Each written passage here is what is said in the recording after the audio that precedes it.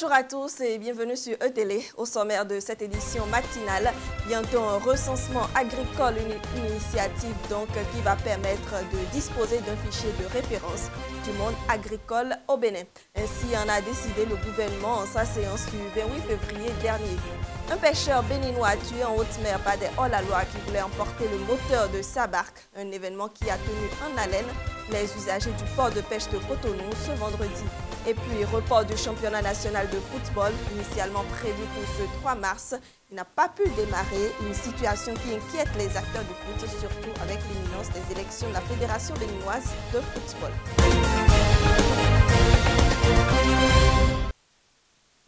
On démarre avec euh, la santé. On parle des maladies tropicales négligées qui doivent, selon les spécialistes, être objet de plus d'attention des populations africaines et celles du Bénin alors que ces dernières années, des efforts sont observés dans le but de les éliminer d'ici à 2020, conformément à l'engagement de Londres. Malheureusement, ces maladies continuent de tuer en silence ou invalident les personnes infectées et non prises en charge à temps.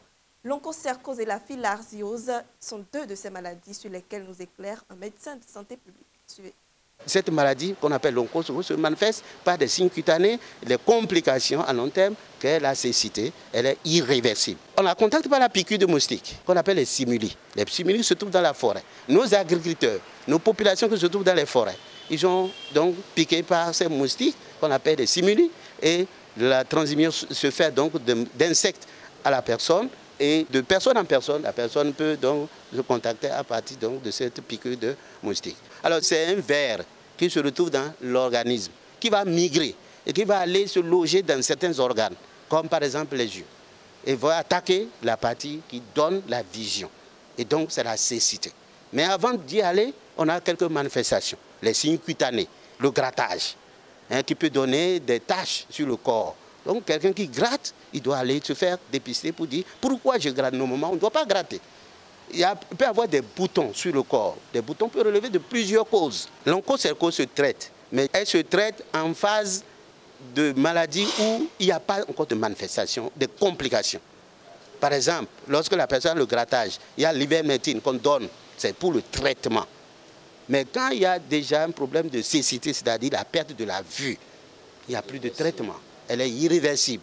Le traitement est tout autre. Même la personne ne peut plus recouvrir sa euh, vue et donc elle est définitive, je l'ai dit. Aujourd'hui, il y a plusieurs types de luttes. Il y a la lutte anti-vectorielle que nous faisons. Dans un partenariat, vous savez que l'hélicoptère a pulvérisé ici des, cours d'eau pour donc euh, éliminer euh, ces, moustiques qui transmettent la maladie, au même moment qu'il faisait donc, le traitement des personnes qui portaient déjà les germes. Par rapport à la filariose lymphatique, c'est également un verre qui se trouve dans l'organisme, toujours avec les piqûres de moustiques. Et ces vers se, multiplient dans l'organisme et il y a ce qu'on appelle les microfilaires qui migrent, qui, qui, entretiennent donc tout ce qu'on appelle les dégâts. Ici également, c'est le grattage. Et lorsque le grattage devient chronique, on peut avoir ce qu'on appelle les, les, pieds d'éléphant, hein, les pieds d'éléphant, c'est-à-dire un gros pied qu'on appelle euh, vulgairement l'éléphantiasis. Ces gros pieds, c'est au stade de complication. Ça peut donner des grosses bourses. C'est-à-dire, on a les testicules qui sont gros, même les gros seins. Ça dépend de là où vraiment le maximum des vers se sont concentrés. Et ça donne une invalidité. Donc, c'est la maladie pour lesquelles, lorsque vous avez cette maladie, un gros pied ou bien des gros pieds, vous ne pouvez pas aller au champ, vous ne pouvez pas aller au service, vous ne pouvez pas travailler. C'est invalidant. Et donc, vous, par conséquent, vous êtes devenu une personne invalidante. Ça se traite, mais à des complications, à la phase de complications, le traitement est difficile. Mais le traitement consiste à traiter dès l'apparition des premiers symptômes, comme le grattage, la peau de léopard. C'est de tacher sur le corps et on peut à ce niveau traiter. Et ça va revenir à la normale. Mais lorsqu'on laisse la maladie évoluer vers les stades de complications, vous savez très bien, les complications sont toujours difficiles à traiter et la personne va rester invalidante peut-être toute la vie qu'il lui reste à faire. On retrouve à présent les informations à Cotonou et environ. Bonjour Latif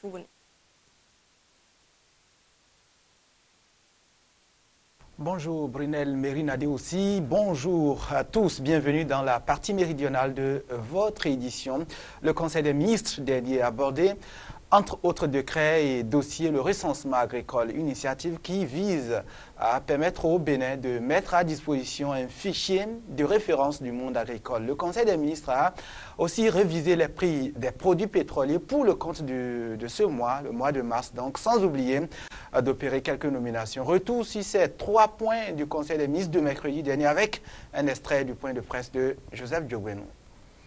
De façon spécifique, ce recensement permettra de fournir des données sur la structure de l'agriculture, en particulier pour les petites unités administratives, en vue de constituer des référentiels aux fins de mesurer la dynamique du monde rural, de fournir des données sur la typologie des exploitations familiales agricoles, d'organiser les informations collectées en banque de données sur le secteur.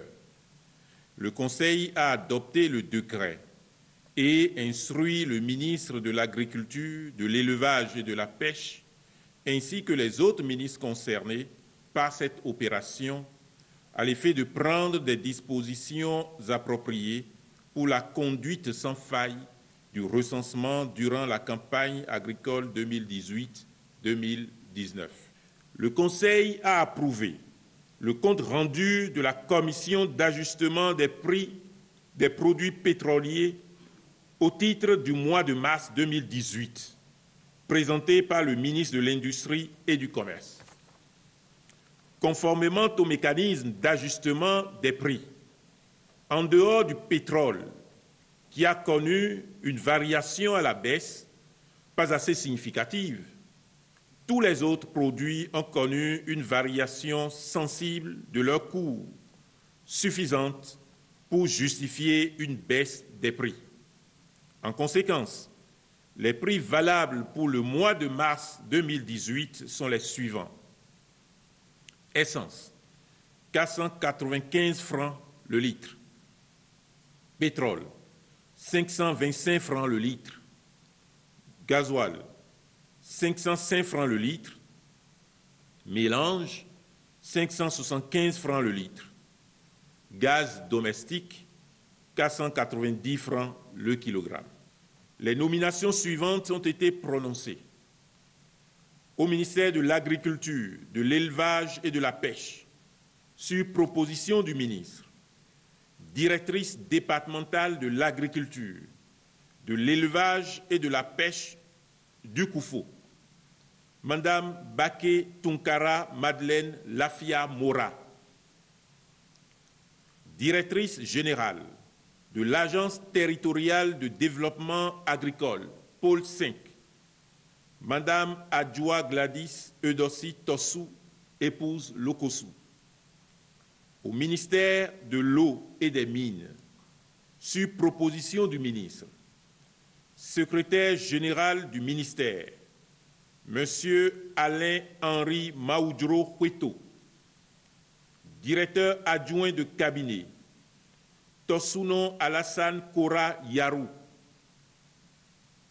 conseiller technique aux hydrocarbures, Madame Suzanne Amélina, conseiller technique aux réformes et au suivi des projets, Monsieur Alassane Mahamadou, au ministère du cadre de vie, et du développement durable, sur proposition du ministre, directeur général de l'Agence béninoise pour l'environnement, M. François Corneille Kedo Ouidé.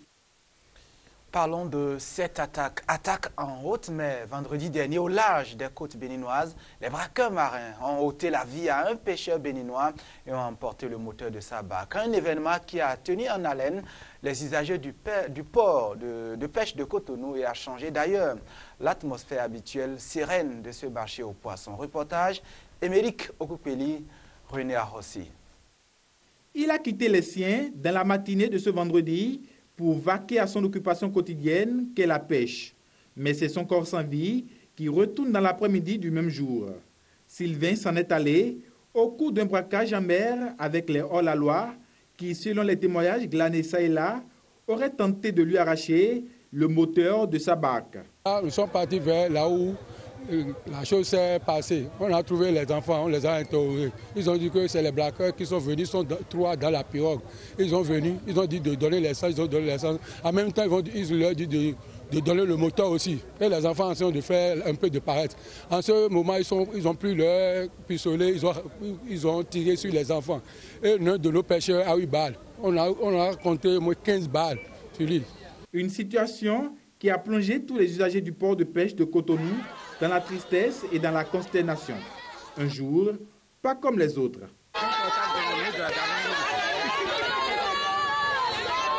Situation qui, au dire de nos témoins, n'est pas la première du genre. Tout ce qui se passe maintenant, ce pas cette année seule que cela se passe. Ça se passe maintenant, ça fait au moins six ans. L'année passée, ils ont pris six moteurs chez les pêcheurs. Et les pêcheurs ont fait enquête jusqu'à Nigeria pour retrouver le, le, moteur. Nos policiers qui sont au Nigeria ont encore fermé les pêcheurs qui sont partis là-bas pour réclamer le moteur. Donc si ça se passe comme ça, ce n'est pas bon. Abattus, ces pêcheurs ne se sentent plus en sécurité. C'est pourquoi ils implorent le soutien du gouvernement afin que quelque chose soit fait. On est en train de, réclamer le soutien du gouvernement pour ces pirates qui sont sur, la mer en train de déranger la situation des, pêcheurs. Nous, les pêcheurs, nous sommes tellement pauvres. On va payer une machine à 2 millions 400. Un jour, les pirates vont venir nous ramasser ça. Un événement qui remet sur le tapis la sécurité en haute mer. Sur place, le constat d'usage a été fait. Les pêcheurs escapés conduits à la brigade du port pour besoin d'enquête et le corps du jeune homme acheminé à la morgue sous le regard impuissant des femmes du marché de poissons de Cotonou. Et toujours à propos de ce drame, le chef euh, d'exploitation du port de pêche artisanal de Cotonou, Léonce Landry Aïssoun, expose à son tour les faits et appelle à un renforcement de la sécurité en haute mer. Ce matin, aux environs de 11 heures, euh, nous avons été alertés par le président zonal des pêcheurs qu'un des pêcheurs béninois a été attaqué en mer par des assaillants. Alors nous allons dépêcher une équipe pour aller constater les faits en mer. ils sont revenus avec la barque et nous avons eu l'information qu'il y a un mort. Alors ces attaques sont régulières, sont régulières, mais c'est pour la première fois que nous avons connu un cas de mort. Parce que généralement, il y a des assaillants venus souvent du Nigeria qui attaquent nos pêcheurs en mer pour leur arracher leur moteur et quelquefois leur prise. cette fois-ci, nous ne savons pas pourquoi il y a eu, des tirs, je ne sais pas si c'est parce qu'il y a eu repos ou quoi. Pour la première fois, il y a eu un mort. D'habitude, c'est les pêcheurs ghanéens que les gens attaquent. Parce qu'eux, ils font en mer, ils font beaucoup de journées. Aujourd'hui, ils ont attaqué les pêcheurs qui font la pêche quotidienne. Nous déplorons ce qui s'est passé. Nous présentons nos condoléances à la famille du pêcheur disparu et à la famille des pêcheurs également.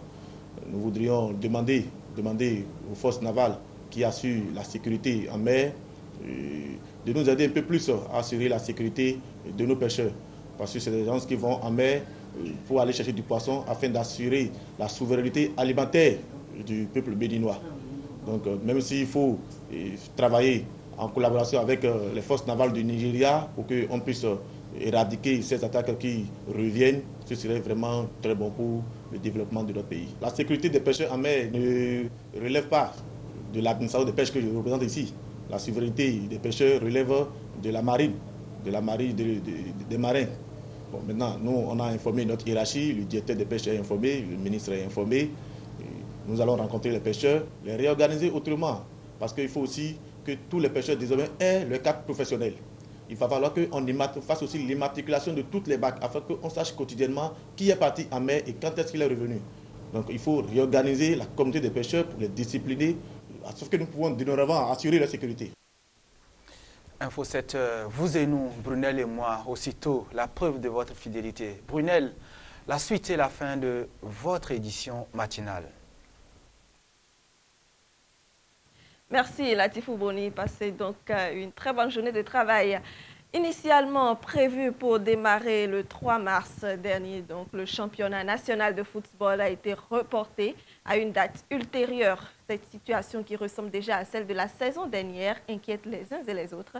Dans quelques mois, le comité exécutif de la Fédération de football sera renouvelé. Alors, si l'on y prend garde, ces joutes électorales pardon, pourraient prendre le dessus sur le championnat, nous dit ici Dieudonné Babatouné.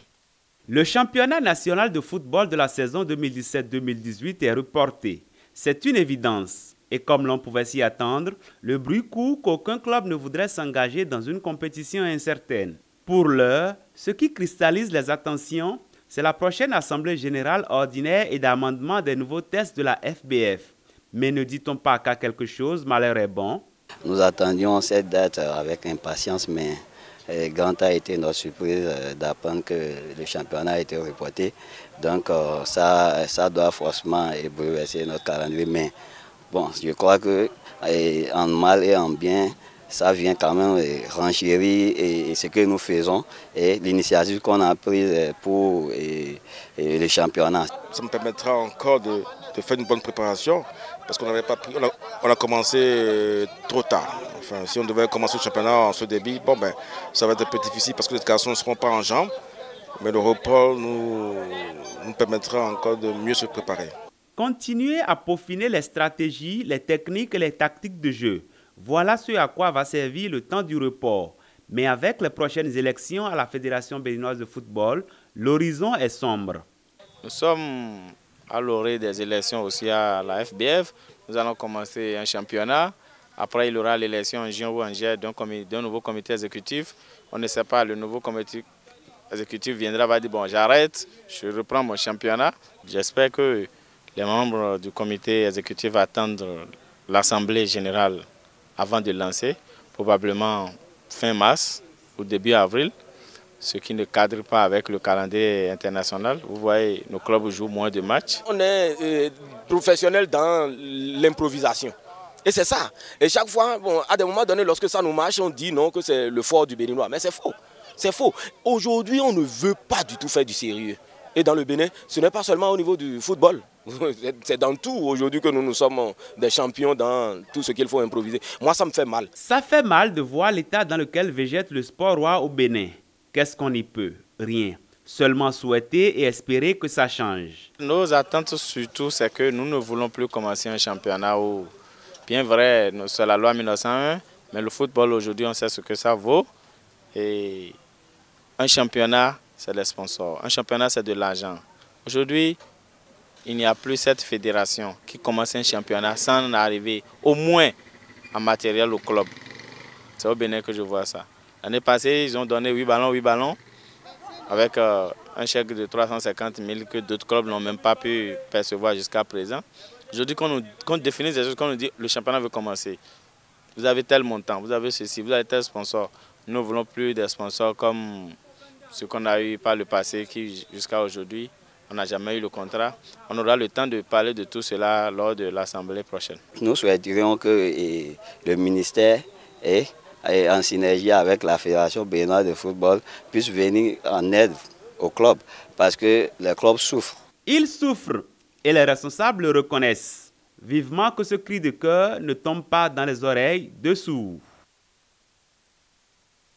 Malgré le report du championnat, les différents clubs continuent leur préparation. Dans cette optique, Dynamo FC de Paraguay livré hier un match amical contre Atlético Sport de la même ville. Score à l'arrivée 3 buts à 0 en faveur des Verts de l'UNACOB. Suivez ici les deux coachs au micro de Dieudonné Babatoune. J'ai vu les uns et les autres, ils sont, ils sont de s'essayer, comme vous avez dit, ils sont venus s'essayer. Ça m'a permis de voir les uns et les autres, savoir euh, leurs possibilités, leurs capacités. Donc, euh, en début de match, j'ai vu euh, un très beau match. Et en second temps, ils ont pêché un peu. Bon, ce n'est pas. C'est un match test.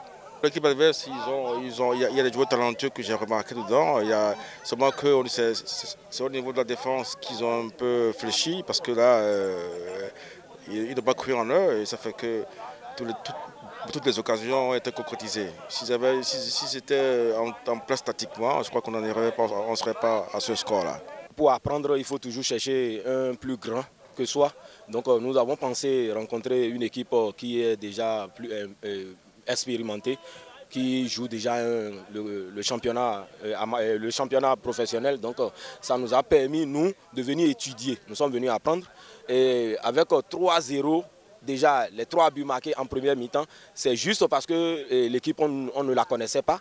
Nous, on entendait parler de, de, Dynamo FC. Nous les voyons jouer au haut niveau, mais nous avons voulu nécessairement venir voir un peu ce que nous pouvons régler par rapport à nos enfants. On a conduit les jeunes à venir apprendre et ils ont appris parce que nous avons lu beaucoup de choses. Mais en deuxième mi-temps, vous allez voir que eh, le jeu est revenu parce qu'il y avait déjà une confiance qui est revenue au niveau des enfants et des, le jeu s'est déroulé tel que moi je le souhaitais. Je ne suis pas venu dans ce match pour dire que je suis venu pour remporter le, le, match. C'est l'autre qui avait nécessairement à confirmer sa suprématie et c'est ce qui s'est fait ressentir ce soir.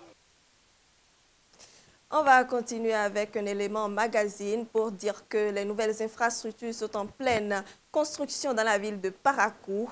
Parmi donc ces nouvelles infrastructures, on y retrouve de Nouveau rond-point, à quoi servent-ils? Qu'en savent les usagers de la route? Reportage. La cité des Kobourou poursuit son toilettage en matière d'infrastructures routières. La réfection des voies fait son bout de chemin avec son lot d'innovations. Sur la plupart des intersections sont érigés des giratoires communément appelés ronds-points. Le giratoire, c'est le rond-point. C'est la forme de la route qui est circulaire qu'on appelle rond-point. C'est donc clair. Rond-point ou giratoire s'emploie pour désigner la même chose, une place inventée pour régler un certain nombre d'insuffisances dans la circulation. Pour gérer les conflits au niveau des intersections, il a été d'abord inventé les feux tricolores. Et la gestion du trafic par les feux tricolores a révélé un certain nombre d'insuffisances. Pour gérer ces insuffisances, il a été inventé le rond-point.